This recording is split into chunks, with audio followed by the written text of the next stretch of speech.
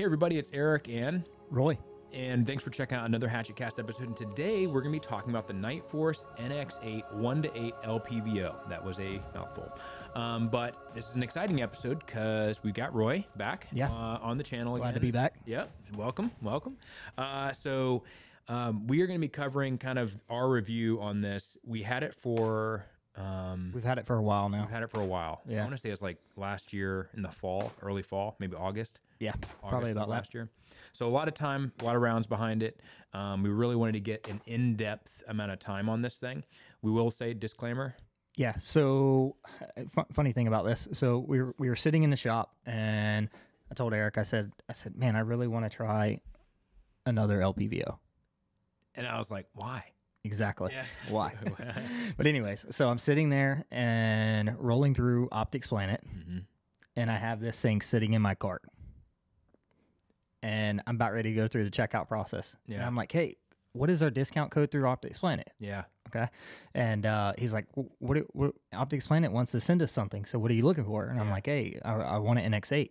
So this was provided to us by Optics Planet. So our friends over at Optics Planet definitely hooked us up with this. Yeah. This was going to be one that I was going to purchase. Yeah. And most likely, spoiler alert, probably will purchase another one. Yeah. So uh, we, we like this scope enough where it's probably worth buying in another one. Well, which is crazy because for if you guys have been watching the channel for a while, you know that we're not huge LPVO people. We usually prefer like a two to ten type scope or something like that. so I think this one fits um, fits kind of like the mold of what what ideally I'm looking for in a low power variable. Right. So yeah, like I said, this is sponsored by Optics Planet. Uh, so thank you for that. They are the sponsor of this specific episode. Um, but let's just jump into the specs Yeah. real quick. All knock right, so we'll grab some specs on this thing. All right, so we're just going to start. Obviously, it's a one to eight uh, front focal plane, Hmm. 30 millimeter tube. Yeah, it is the mill reticle, which I do believe they call the DMX. the DMX. Yeah, because there's there's two different mill reticles, isn't there? Yeah, kind of like the rapper DMX. Yeah. Uh, uh, rest in peace. Rest in peace. uh, overall length 8.7 inches. Uh, that's honestly part part of um, my appeal Yeah. it as far as why why it kind of fits the mold of what we're looking for. Yeah. Uh, really, when when I'm looking, if I'm going to go to something that you you look at some of the one to tens that are out there on the market. You look at some of the other LPVOs; they start to increase in size. So that's that's one of the things that we obviously liked about the primary arms Yeah. was that uh, was the size of it.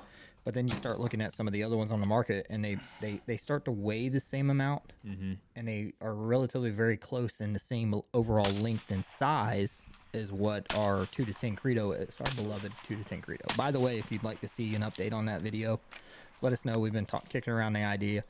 We can still get a lot of questions on that. Yeah. I mean, we did that video two years ago. Yeah, So two years ago. it'd be time, good time for an update. But yeah, I mean, uh, the, the biggest thing is like, if we're going, the LPVO for us is mostly like the size and then the 1X capability, which honestly we don't really use that much, and that's why we've always been going to the two to ten because we always mount a red dot as our reflex optic on the gun. So whenever we have an LPVO, we're specifically looking at size and weight as the massive pro that outweighs like or that is more of a benefit than like a two to ten because we can go smaller.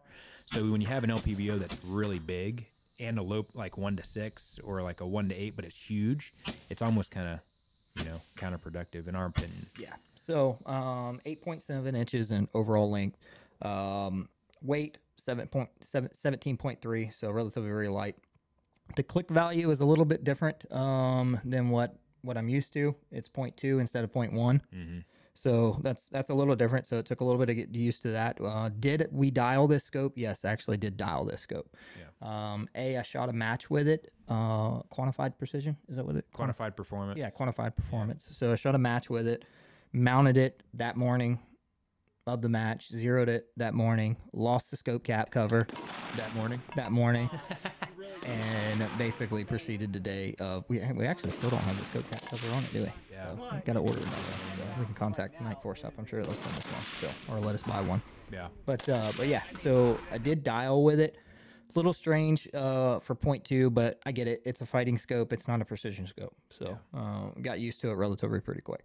which I think uh, you know you talk about the precision scope side of it, but the the reticle is actually very nice, and that's that was a big draw for us. Is we were always big on reticles, and if they're too, you know, with combat quote unquote optics, you have where the reticles are too fat and cover up too much of the target, which this one did not do. Yeah. Surprising. So um, reticle wise goes, it drops down in you know one mil increments. Yeah. So so you pretty much you you at least have a number for a letter for for reference point two four six you know and so on as we go down. So that's really nice. Um, easy, relatively very quick to get back on target with. Yeah. So so that is the you know kind of nitty gritty, the most important part of specs when we're looking for, and then outside of that would be the price point Yeah.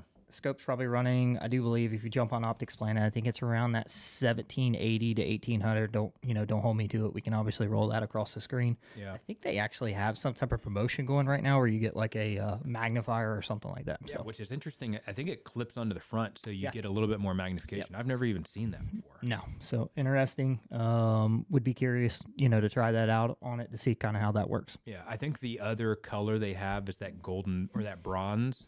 But I mean, like if you're gonna be like us, we paint everything, so it really doesn't matter. Uh, if color doesn't matter to you, you can save some money. yeah i do that. believe the bronze is a little bit more Yeah. so.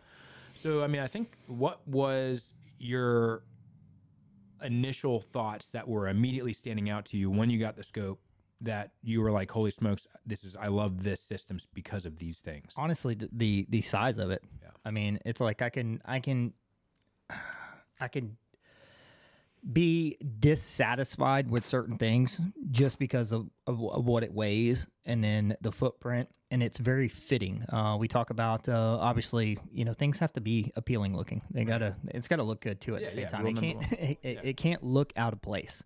You, you, you know we have it on a 16 inch gun right here. It looks really good on a 16 inch gun. It also looks really good on a 12 5 Yeah, it does. so it's not it's not overly too big or anything like that.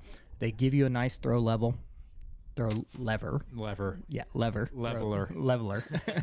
throw level level leveler. I can't say it. All right, back to normal. Welcome back, Roy. Make up some words. Yeah, making up words as we go. Um, turrets typically are capped. Obviously, I lost one of the caps. That being said, they are tight enough where through this entire process, like a like literally, I lost this the first weekend that we had it. Yeah. So we, I, it came in on a Friday. Yeah, came in on a Friday. Went out. Didn't I? No, I didn't shoot Saturday at all. Uh, and then the match was on Sunday because Yeah. there was a Saturday Sunday match. I didn't shoot Saturdays, shot Sundays, and mounted it up while I was at the ranch. And it fell off actually in the first stage because I didn't tighten anything down Yeah. because I was in such a hurry Uh, mounted it back up, re-zeroed it during the match, and finish shooting the rest of the Yeah. match. Uh, never had an issue with uh, with the with the turret actually skipping around or anything like that. So it's it's nice and tight. yeah. So, Never bumped it. Yeah, I, I think. Yeah, like what you were saying, the size of that is is a big one, and I think that um, as far as the, you know, we had a I had one dude that commented, and he was talking about the ATACR specifically, um, and you know, he his his argument was that if you have an LPVO, it's better to have a 34 millimeter tube versus a 30 mil. What are your thoughts on that? um,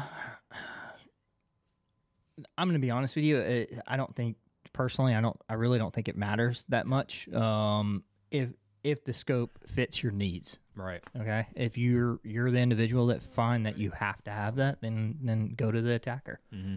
But I found like this scope fit all the needs that I was looking for. It gave me enough magnification that I could identify targets at distance. Yeah. I ran it out to 890 during the match. Mm-hmm. Got my hits at 890. The reticle is not too large at full magnification, being that it's a front focal plane. So we do find that sometimes where the reticle. That was actually one of my complaints with the um, with the uh, primary arms. Uh, great scope, love the scope, fantastic one power. Mm-hmm. As we got up into the eight power, the reticle became kind of large, and it was covering up complete size targets at 800, 900 yards, basically. Right. Uh, actually, even 600 yards would cover up an entire target. This scope right here, I could I could still see the target with the reticle placed over top of it at you know 890 yards, 900 yards. So Right. so reticle fit me fine. It pretty much basically hit all the checkbox as far as what I need to be effective Right. with it. Um, so as far as needing a 34 millimeter tube, I don't, I don't, I don't. I guess if, if it's something that you want, yeah, go ahead. But I think it's. I think for me, it's just the weight. Like we run ATACRs at my unit, um, so we run them on our, you know, those rifles, and and SOCOM and stuff has the 34 mil, but it's a big scope. Like it's it's heavy, it's bigger. Yes, you get that better like eye box, but at the end of the day, it's almost like I'd rather have a two to ten on there. Yeah. you know what I'm saying? Yeah. And so I think for the LPVO, this one is so nice because of the size, the weight, the reticle really, I think, made this for me. And that was something that, you know, like we always talk about, a reticle makes or breaks an optic. And so this reticle was super easy to get used to. There are some optics where you have reticles where they, it just it takes too much time to get used to it, or it's you have to kind of jump through some hoops to try and figure out to make your brain connect with when you're trying to hold things at speed or doing multiple targets at multiple distances. It's it's kind of hard jumping around. You lose your place in that reticle. yeah, it's uh, there's enough spacing in between all of the uh, all of the wind holds uh, where you can you can you can see everything nice and clear. Now, here is a quick word from our sponsor, Exothermic Technologies. Exothermic has two different pulse fire flamethrowers. One is the LRT, the other one is the UBF. They are both gasoline fueled. If you do a diesel and gasoline mixture, it allows the diesel to keep the fire going until the target is definitely toasted. They're both battery powered and they have a rechargeable battery pack that comes with them. You can also use both of these systems in conjunction with the Pulse Fire backpack kit so you have extended flame time with both units. The underbarrel system mounts to the bottom of any Picatinny rail, or you can also use the handle that comes along with it to have it as a standalone unit. The cool thing is they both use the arc ignition system, which is a patent pending electric ignition to keep the flamethrower going whenever you're using it and make it more reliable. It does have a built-in valve at the end of it to prevent any leftover fuel in the reservoir from dripping out. The big thing you got to consider is the wind. Like any flamethrower, you got to make sure you take that into consideration. If anything is wrong with the flamethrower, you can get the parts replaced with the warranty program that comes with it. And this tool is especially good for things like lighting bonfires, snow, getting rid of ice, also getting rid of weeds or insect hives that you don't want to get close to. You can also use it for agricultural purposes, for land management, and I've even seen some videographers and photographers use it for special effects for their films or photos. So it is a really, really useful tool and something to be considered about. Whenever you want to get one, go check our description below for a discount code to save 20% on any accessories that come with the exothermic flamethrower. Yeah. So it's not it's not too cluttered. Yeah. Okay.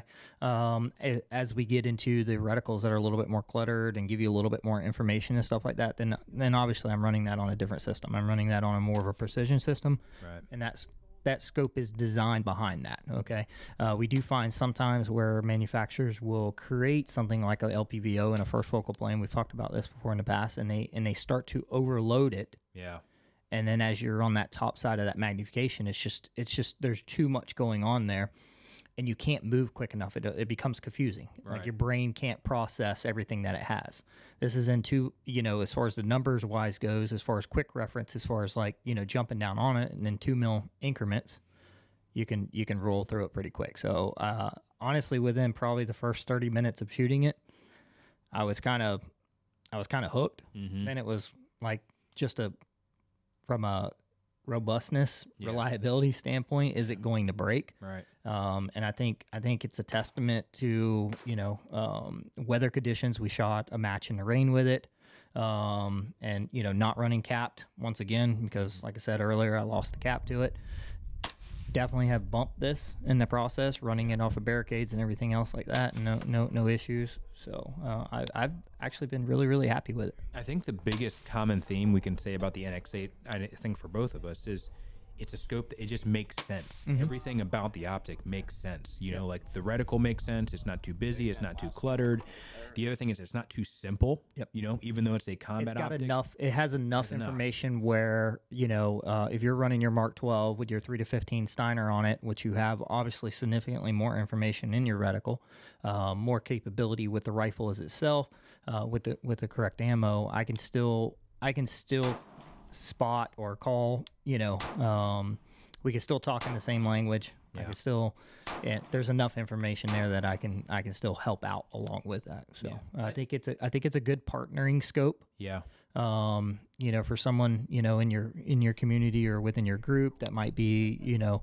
It's it's a good fighting scope. That's Yeah. what it is. It's a, it's a good rifleman scope. It's a it's a scope that pretty much almost anyone probably that has a baseline understanding of a mill reticle can go out and, and start running and shoot. And if you don't understand our mill reticle, obviously you can take a co- scope carbine class with us, Yeah. and we can help you out with that. There's obviously other many instructors out there that teach a really, really good scope carbine class. Also, you can check those guys out. Um, we can always send you some recommendations with those too. Um, but uh, yeah, I mean, it just it really does check all the boxes for me. So I think it's something that's it's like you said, it's it's small enough and rugged enough and makes sense enough to be on a fighting carbine, but at the same time you could throw it on a Mark 12 and still be precise with it and do some precision work. Yeah, most definitely. Yeah, I mean we're running on our uh, 16 inch uh, test barrels from Rosco manufacturer, which that barrel is you know teaser. It's it's it's freaking accurate. It's a tack driver, so we've been super, and that's not just saying because they slapped our name on the side of it. Yeah. Um, it's We, we we did a lot of testing on this because it was one of those things where we wanted to make sure that one reliability, but two the accuracy standard. Um, and yeah, and- we've even handed it out to some of the other guys in the community yeah that spend a lot of time behind a rifle. You know, Eric and I, we we spend a lot of time behind a rifle, but we also tend to jump in behind a pistol for you know for good periods of time. Yeah. Um, and uh, we have we have a few guys that just you know, hey, you know what, I'm gonna shoot. yeah I'm gonna shoot rifle. yeah And they spend a lot of time. They spend a lot of time practicing. Some of those guys are better shooters than we are. mm-hmm. Yeah Um, and we've handed it off to them to get their opinion. And same thing with that scope. Um, we we had one of our one of our buddies uh, actually shot a class with it, mm-hmm. right, with that Yeah. scope. Uh, his feedback on it was too that he loved it. He Yeah. liked it. So Yeah. I get a lot. That's uh that's something I think they're actually releasing this barrel at Shot Show, or is when they're announcing it. So uh, just kind of stay tuned. We'll give you guys updates on when that's going to be released. But um, the cool thing, I think, the biggest thing about this barrel is the intermediate gas system. So it's in between mid length and rifle length. So Yeah. can you talk about what that does? I know it's kind of going off track. Yeah, I mean, um, without without going super into the science and everything else like that, um, basically it's just it's giving you a longer um, longer length gas system. It's a it's it's kind of very similar to like what you would see companies like Knights Armament or somebody like that running. It's not exactly the same as theirs, the intermediate gas length. There's been other companies in the past that is experimenting around with it. I've always really liked it for the 16 inch barrel. Okay, uh, 14.5, 13.9, love the mid length on it as long as it's ported correctly, not over gassed or anything like that. But on the 16, there's a little bit more room to qu- cut back on some of that dwell time. Um, so you can extend that gas block forward a little bit. The rifle length becomes entirely too picky. Yes, you can run a rifle length in a 16 inch barrel. I've, I've done it before. I've taken rifle length guns and, and chopped them down. Um, rifle length, you start getting around below that 17, 17 and a half roughly, then they, the gun becomes too picky. Mm, Okay. The intermediate still allows you to have enough dwell time to create enough back pressure to be reliable. So I, I honestly believe that the intermediate or very similar gas link systems to the intermediate in a 16 inch barrel is the way to go. Um, it's it's it's going to be a more reliable system. It's going to be a softer shooting gun. Uh, you're typically going to have a more consistent pressure back at the chamber, which is going to create typically more, you know, a little bit more accuracy or or uh, standardize your deviation a little better, so it's not so extreme. You know, when it comes to your velocity on your rounds, because you're not building up the additional pressure back at the chamber. yeah. Yeah. I think, and also having a softer shooting rifle that's appropriately gassed makes it easier for follow up shots. So with this optic, it's easy to kind of stay in the tube and be able to get follow up shots on that target. Um, so the one thing I had that was kind of I wouldn't say it's a bad thing. It just took some getting used to. That was the the three dots. So it has the three dots in the reticle, and there's sometimes I would actually pick the wrong dot, Yep.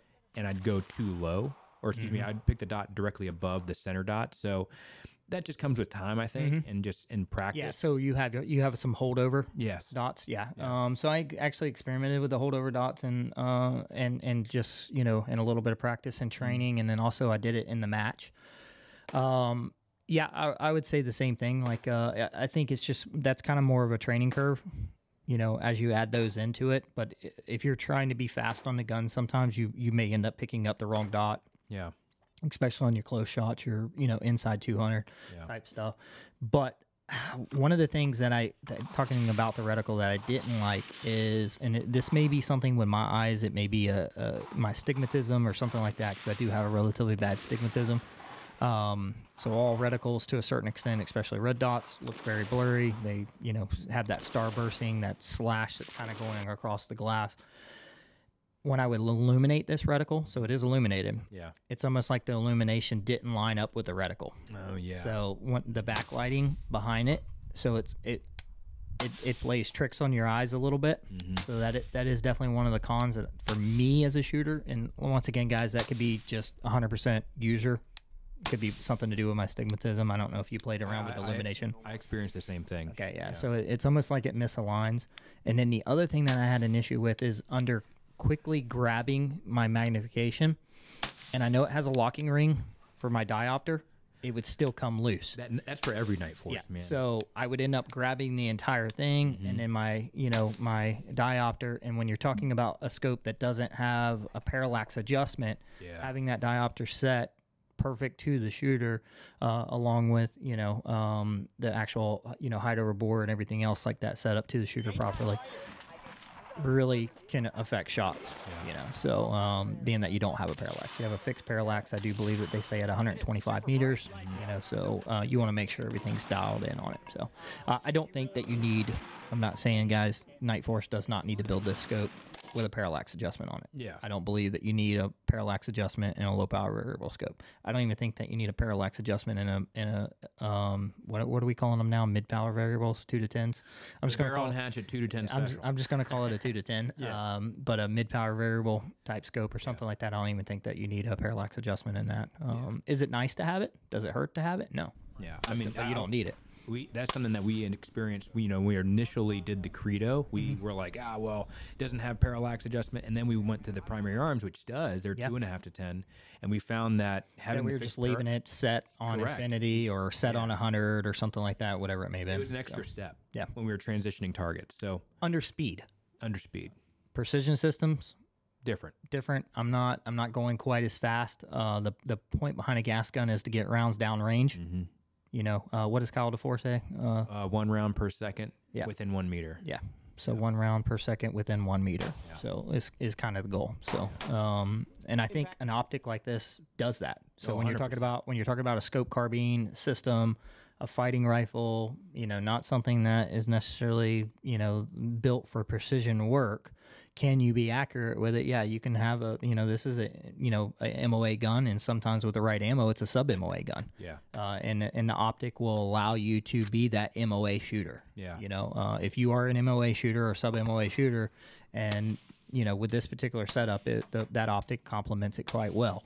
But it's also an optic that you know, uh, uh, I would say, I would say personally, I feel like uh, if you if you have a base level understanding of a, of a mill reticle, it's an optic that would fit, you know, more of a newer shooter that has at least taken some time to kind of study the reticle. And that that's really where it comes key hmm. when it comes to any kind of optic is and and there is no there there should be you're probably going to find whatever your favorite is is what you spend the most amount of time behind. Mm-hmm. We love the Credo for what reason? Because I literally have shot the Credo for the past I don't even know how many years. Yeah. Uh, however long the Credo has been out, I've been- owned yeah, one. yeah. So, um, so I, that's why I love it so much because I've spent so much time behind it, and it's embedded in my brain. I can pick that rifle up, and, and the moment that I sit behind that glass, like I can, I can actually picture the reticle in my head right now because I've seen the reticle so many times. I've studied it so many times. Okay, uh, the same thing with the Steiner three to fifteen. You've you've been behind that glass so much that you, you're used to that reticle. Uh, it's going to be the same thing with this. You're going to want to get behind the glass. You're going to want to, and that doesn't mean necessarily shooting, guys. I know ammo is expensive right now. You're you're 60, you know, 60, 65 cent a round. You can get out and do dry fire work with it. Um, you can sit there in, in front of your computer screen and just look at the reticle and study the reticle, but that's that's going to be key. yeah Uh, that really is. Um, you can't you can't give an honest opinion on something until you've until you've spent enough time behind it. So don't just take our word for it. You know, if this is something that you're interested in buying, obviously, you know, check out Optics Planet. You know, it uh, they help us. It'll help. You know, uh, it helps them as far as um, you know purchasing it through them. But uh, but it it you know, it's it's a great scope. Your uh, night force. I love it, man. Yeah. Some people don't like them. I, I What do you love about it?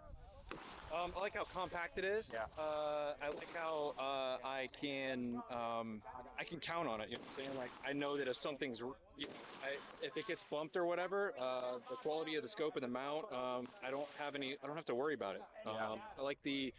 I like the, the reticle. Yeah. Center aiming dot is really small, and then if I um, I can mill out pretty easy. If I need to change my zero, I can just use the, the reticle, see what I need to change, and uh, the dot is daylight bright. Yeah. Um, so I have no no issues with it. I love it. Yeah, I agree. I love the fan. Very sick. I think it's. I think the best way to put it, like you were saying, to caveat on that is, the the scope is good enough where it's worth our investment of time to become familiar with it. Yeah. Yeah. Yeah. It's it's worth it's worth us making this, that a this familiar thing. scope um so you know um when when a manufacturer sends us something uh you know if they if they don't provide ammo necessarily to us um realistically for for me and Eric we we at least like to get a minimum of about a thousand rounds Yeah. behind it. You know mm-hmm. combined okay mm-hmm. just to you know make sure that it and and that's in hard usage Yeah. okay that's not just like a thousand rounds sitting on a bench Yeah. that's a thousand rounds running barricades. That's a thousand rounds running, you know, just open gym sessions. That's a you know sometimes not even not even shooting, just hucking through the woods with it, mm-hmm. bouncing off of trees and vines and everything else like that, just to just to make sure that it's good.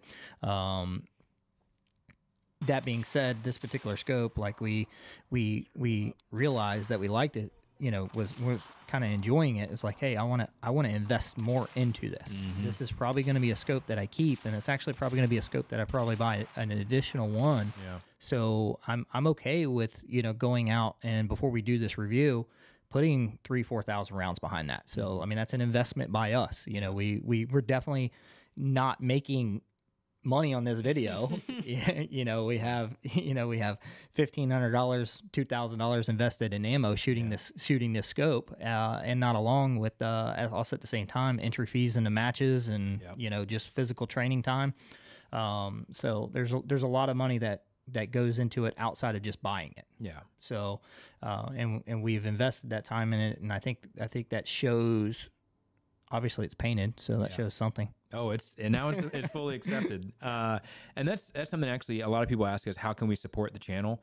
That whenever you guys come to classes and you come train with us, that directly supports us. When you become a member and you actually are paid subscription member or you become a lifetime member, um, that is something that allows us to continue to put in the high round count behind these th- these items to help give us a true opinion that you can use for your research if you're deciding to get into this, and that directly you know goes into stuff like this. So if you do want to support the channel so that way roy and i and can keep doing what we're doing and put the same amount of effort into reviewing a product versus just here's 100 rounds and unboxing review Yep. th- you know that goes directly towards funding that type of um, in-depth review Also, we appreciate it because this is what we are doing full time now. Yeah. So, um, so uh, putting food on the table helps a lot It is putting food on the table also at the same time. So you guys have, have been absolutely fantastic. Uh, we're in 2024. 2023 was obviously rough for us. 20, so we're starting 2024, you know, off the right way. Yeah. It's been really good so far. We got our new studio, got our new office. Me and Eric are working together every single day, so that's awesome there.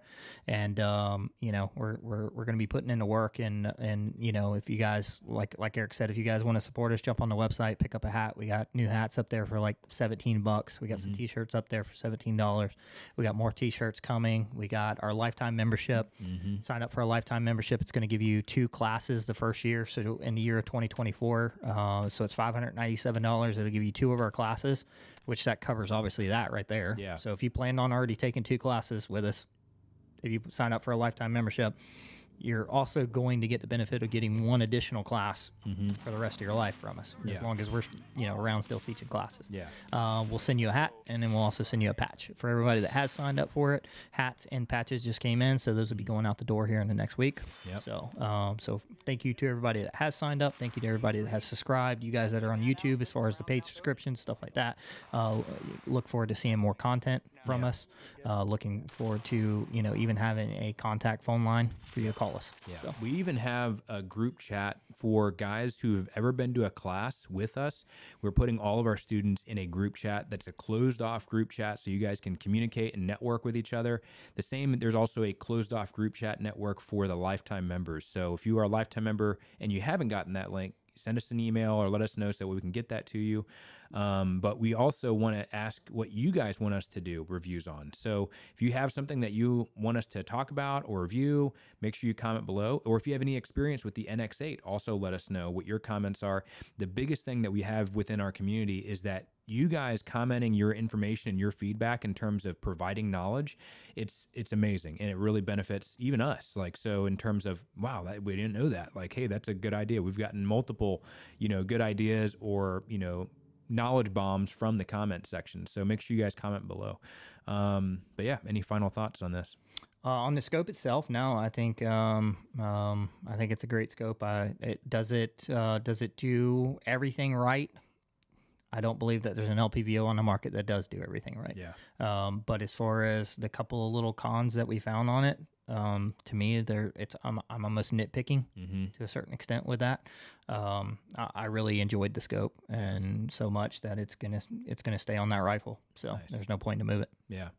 All right, guys. Well, make sure you guys uh, go and check out our Instagram and Spotify channel. We are actually very active on Spotify right now, so we're trying to push out a lot of podcasts. So and we got a lot of cool guests. A lot of cool. a lot of guests. cool guests. So um, it's uh sometimes it isn't going to necessarily be all gun content. Mm-hmm. So we got some cool cool cool guests coming up to talk about uh you know maybe UFOs and things like that. Yeah, there you go. Talking about language. But we just had uh, our last guest. We talked about the gray man. So Yeah. he is. I would. I would consider him a professional gray man. Yeah. Uh, but uh, it was really cool. Mind blowing. Yeah, mind blowing stuff that he was talking about. But, Yeah. anyways, guys, make sure you guys go and uh, like and subscribe to the channel, follow those different outlets. Also, sign up for our newsletter on our website to get up to date information about what's coming down the pipe for Barrel and Hatchet. And also, make sure you go out and get training. Make sure you're the asset, not the liability, and we'll see you on the next one.